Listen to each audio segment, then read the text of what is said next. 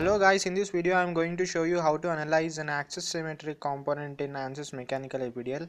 So one of the good example of axis symmetric compound is a flywheel. So this might be a bad design but consider this as a flywheel for the time being. It has dimensions and material properties uh, as you can see. So let's get started. Go to preferences, structural, okay, preprocessor, element type, add an element add a solid of quad 4 node 182 quad 4 node because it has good symmetric properties in ANSYS go to options and change the element behavior to axis symmetric. Click ok. Close. Now provide the material properties. Go to material models. Structural linear elastic isotropic so my standard would, would be in mm so 200 gpa would be 2 e5 newton per mm square young's modulus and 0.3 the poisson ratio. I'll give the density as 7850 kg per meter cube. Let me convert this into mm i mean cgs units. That is 7850 into 1000 kg by 10 power 9 mm cube that will be 7850 into 10 power minus 6 gram per mm cube. So that will be like 0 0.00785 yeah that's right. 0 0.00785 gram per mm cube. Exit.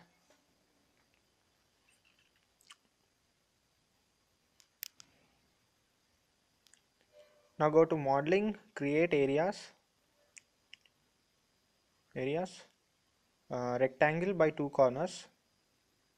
The origin at 0 0 uh, width. So now I'm going to model uh, 1 by 4th of this whole flywheel. So this red portion over here will be 1 by 4th of the flywheel. Uh, to model this I'm going to model a whole rectangle of this red plus yellow portion so first I'll model this red plus yellow portion. Then I'll subtract this yellow portion. So I'll be left with the red part.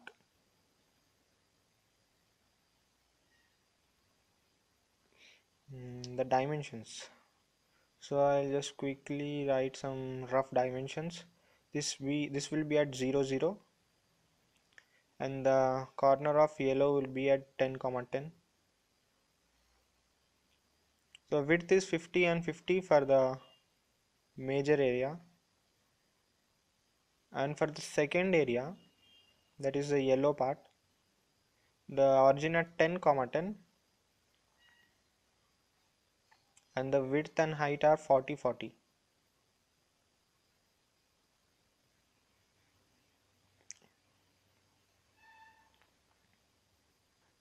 now I need to subtract the second area from the first so I'll go to modeling operate. Delete oh sorry operate. Boolean subtract. Areas select the first area then select the second area. So this is what we are left with and what we needed. Now I'll apply the symmetric boundary conditions to replicate it about xy plane. Oh before that I need to mesh. Go to mesh tool smart size mesh and pick this area. Okay. So this has been meshed. Now go to loads define loads apply structural displacement symmetric boundary conditions on lines pick this line and this line over here. Click ok. Now this is symmetric about the xy plane.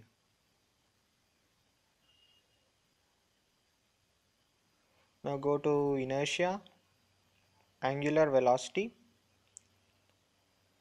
So the speed of this flywheel is 3000 rpm then the angular velocity omega would be 2 pi n by 60 so that is 2 into 3.14 times 3000 by 60 that will be 100 pi that is 314 radians per second.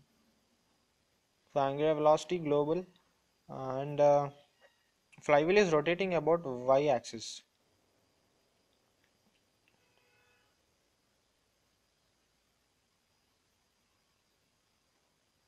so this is the y-axis and it is rotating about this axis uh, in this way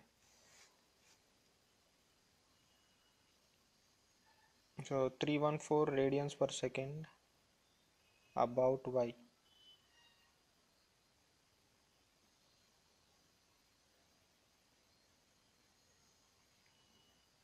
now the loading conditions have been given. I'll just proceed to solution. Now before you solve it you might want to see the how the whole flywheel looks like. So go to plot controls style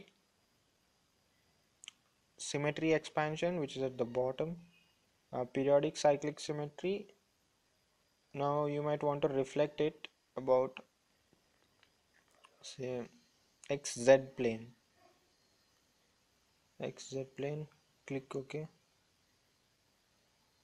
So this has been reflected ab about xz plane. Again go to style symmetry expansion. This time go to 2d axis symmetry now you can expand the whole uh, component. I'll click the 3 by 4th expansion. Now here I have the 3 by 4th of the whole flywheel without reflection. So this is the isometric view oblique view. If I want to have the full expansion I'll just click the full expansion. Now I'll solve this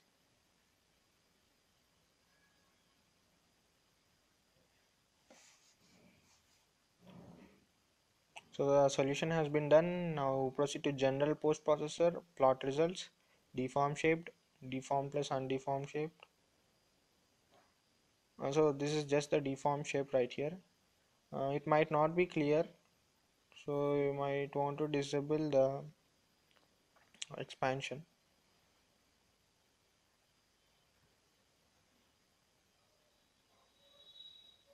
So I'll click on no expansion no expansion? Okay. Now the front view. I'll go to deform plus undeformed shape. So this is the deformed shape the blue one back there. Now go to contour plot nodal solution. Uh, you can check out the DOF solution. Uh, displacement vector sum. So the maximum displacement is at the outer edge compared to the inner edge. And stress for the x component stress this is the plot. So I'll expand this one once again.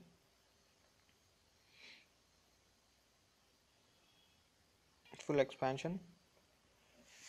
Uh, you might not be able to see just click the isometric view so this is the stress plot about uh, along x-axis. And the stress plot about along y-axis. And this is the stress plot about along z-axis. You might want to see the list results. So go to list results nodal solutions and um, you can see whatever the solution you want right here so that's all about this tutorial guys. Uh, if you like this video hit the like button and subscribe for more videos. Thank you